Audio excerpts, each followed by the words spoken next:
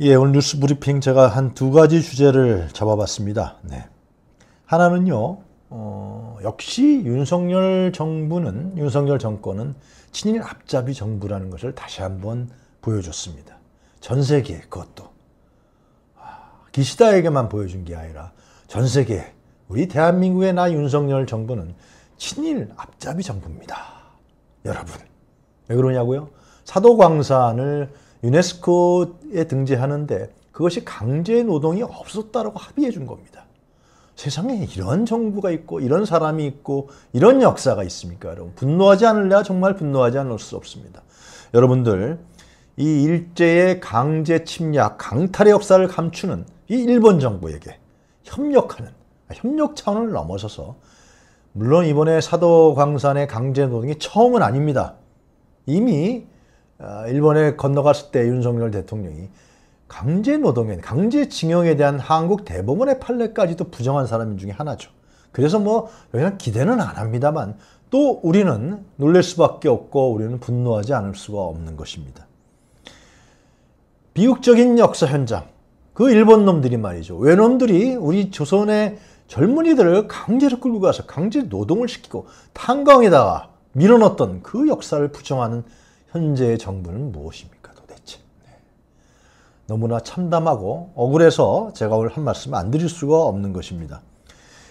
사도광산의 강제노동 문제는 1519명 명수까지 나와 있습니다. 1519명의 우리 젊은 남성 노동자들이 강제노동을 당했던 역사의 현장입니다. 조선 총독부가 1940년에 폭력적인 방식으로 우리 젊은 사람들을 신원조사에서 바로 탄광으로 실어 날랐습니다.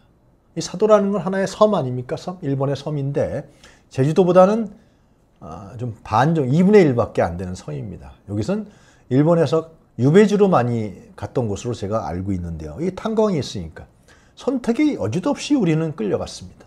네. 1940년부터 45년까지 미쓰비시죠. 우리 미쓰비시 잘 기억하시죠, 여러분? 이 미쓰비시 놈들이 조선 충독부에게 뭘 했는지 둘이서 결탁해왔고 우리의 젊은 노동자들을 젊은 청년들을 끌고 와서 탄광에다 집어넣고 강제 노동시키고 그리고 임금도 주지 않았습니다. 45년 후에 태평양 전쟁에서 일본이 패망했을 때 그 임금을 주지 않고 그것은 일본 국고에 아, 들어갔습니다. 어떻게 안 줬느냐? 여러분 군함도라는 영화 보신 분들 다 기억하시겠습니다만 그 돈을 지네들이 다 무슨 뭐 예금 적금에 든다 이런 식으로 해갖고 저축보험에 가입시켜 주지 않았습니다. 그러면 끝나고 나서라도 줘야 될 거 아니에요? 주지 않았어요. 주지 않고 지네들이 쏙딱 먹어버린 것입니다. 세상에 이러한 불안당들과 이러한 그 진짜 파시즘의 전형들이 있을 수 있습니까? 네. 사실상 눈 뜨고 없을 정도로 구탈당했고요. 우리의 젊은 청년들이 탈출 러시가 있었지만 붙잡히면 또 죽음을 당하고 또 가장 위험한 갱도 작업은 우리 조선인들이 도맡아 했던 걸로 이미 조사가 끝난 사업입니다. 네.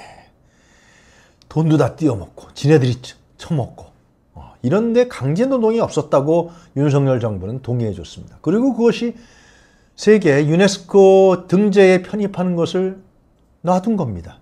원래 유네스코 등재 때 해당 정부가 상대방이 어떤 피해자들이 찬성하지 않으면 등재가 이루어질 수가 없습니다. 이런 일을 전혀 하지도 않았습니다. 네. 자, 이게 왜 더 중요하냐면 한 가지 사실만 더 말씀드리겠습니다. 이 사도강산을 세계 유네스코에 등재해 갔다고 결정한 거는 2021년도입니다. 2021년도 기시다 정부가 이 조선 노동자들의 강제 연행과 표현은 부적절하다 그러면서 이 조선인들이 강제 노동 당한 게 아니라는 각의, 우리나라 얘기하면 국무회의죠. 국무회의 결정을 내렸습니다. 이것을 2021년도면 언제입니까? 그 이후에 이것을 항의하지 않고 그대로 동의해 준 정부가 바로 윤석열 정부다. 뭐 뻔하게 그렇게 해줄 거라고 우리가 예상했습니다만 더욱더 분노하고 이 윤석열 정권의 이 반역사적이고 반국민적인 행태에 대해서 우리는 오늘 아침부터 분노를 참을 수가 없을 것 같습니다. 네. 이준숙 얘기, 이진숙 얘기 오늘 좀안할 수가 없습니다. 이진숙, 아, 이 사람은 뭐 하는 사람입니까 도대체? 이 사람은 범법자로 국회 민주당의 과방위원들이 규정했습니다. 이 사람은 범법자라는 것입니다. 특히 법인카드. 자, 제 오른쪽에 나와 있습니다만 이 역대급 장관급 후보자인데 무단 결공. 대전 MBC 사장 하기 전에 12월 22일부터 1월 2일까지 사업장에 나가지 않았어요. 그리고 없어졌어요. 그래서 나오는 얘기가 해외 여행 간 것이다. 그 근거로서 이 이진숙의 관용차를 아니죠. 아, 이진숙의 차량을 몰던 기사가 기름을 넣지 않았어요. 아예 움직이지 않았던 거죠. 그래서 대전 MBC 쪽에서 제보를 받았겠죠. 민주당 의원들이 해외 여행 갔다. 무단 결근하고 이런 사실이 또 나오고 있고요. 또 가장 우리의 분노를 샀는 것도 법인카드 사용입니다. 야, 법인카드가 법인카드는 뭡니까? 회사에서도 법인카드가 있고요. 다 어, 법인에서는 다 조금만 해서 또 법인카드 있고 그 법인카드는 그 회사를 위해서 쓰는 겁니다. 그런데 이진숙이라는 사람은 빵통위원장이라고 해요. 네? 뭡니까? 대전과 서울에 있는 빵집에 가서 얼마를 긁었다고요? 96만 원인가를 긁었습니다. 한꺼번에. 그럼 뭡니까? 긁어놓고 자기 필요할 때마다 가서 빵 산 거 아니에요? 그래서 빵통위원장이다. 이런 얘기까지 나옵니다. 이것뿐만이 아니죠. 한도가 220만 원인 법인카드를 월 평균 420만 원을 써댔습니다. 그러면 더 썼으면요. 거기에 따른 영수증을 제출해야 될 거 아니에요? 그것도 안 해요. 이것도 분식회계로 처리했다고 그럽니다. 아주 머리가 영리한 사람입니다. 증빙 장료를, 증빙 자료를 단 한 건도 내지 않았다. 영수 처리도 안 돼 있는 거죠. 이건 횡령이죠. 횡령. 배임. 횡령죄입니다. 골프장, 또 5성급 호텔, 백화점 신나게 돌아다녔습니다. 누구 카드로요? 대전 MBC 법인 카드로요. 노래방. 아, 대단합니다. 노래방 가서 뭘 했는지 모르겠습니다. 또 슈퍼마켓에서도 20만 원어치의 법인 카드를 썼대요. 아, 이게 도대체 이해가 안 가는 사람입니다. 이해가 안 가요. 네. 아, 이런 사람을 방통위원장, 장관급으로 아치겠다는 윤석열 정권은 더더욱 이해가 안 가죠. 네?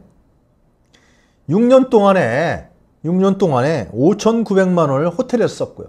주말에 342건, 또 서울에 있는 63빌딩, 63빌딩 고급 시장에서 141건, 7,497만 원을 써댔습니다. 백화점 또 추석 직전에 또 500만 원, 설 직전에 1,000만 원. 뭘 한 거예요? 선물 하, 자기가 써댔겠죠. 네. 또 새롭게 우리 저 네티즌들이 밝힌 사실인데 종로인 설인동 주에서 한꺼번에 200만 원을 썼답니다. 이거 끊어놓고 갈 때마다 기름는 거예요? 주유, 승, 주유 상품권을 파는 곳이라고 그래요. SK. 하여튼 지못되는입니다. 어? 네, 하여튼 뭐.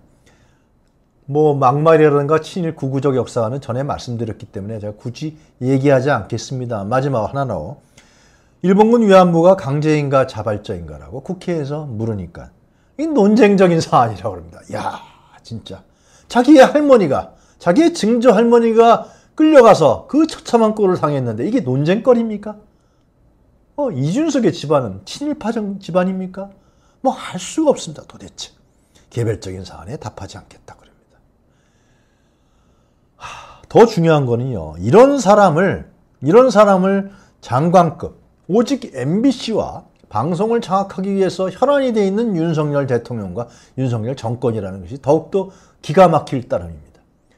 자기 정권의 명언을 재촉하고 있다고 말씀드릴 수 있습니다. 네. 역대급이죠. 역대급 장관, 역대급 사태 버티기. 네. 이런 얘기해라. 나는 사퇴 안 한다.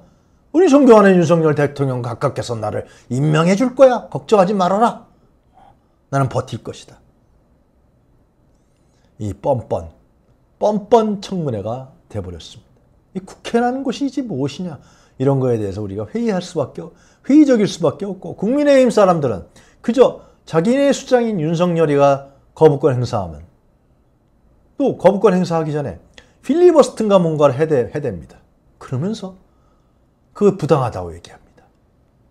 아주 이게 통과되면 필리버스터하고 거부권 행사하고 제 얘기를 들으면 또 거부하고 아주 이게 상식이 됐어요. 국회에서 자기네들이 민생이라든가 나라 걱정은 하나도 하지 않습니다. 오직 윤석열, 김건희 부부를 지킨 것이 국민의힘 국회의원들의 책임이고 역할이다. 라고 제가 얘기하면 그게 과합니까, 여러분?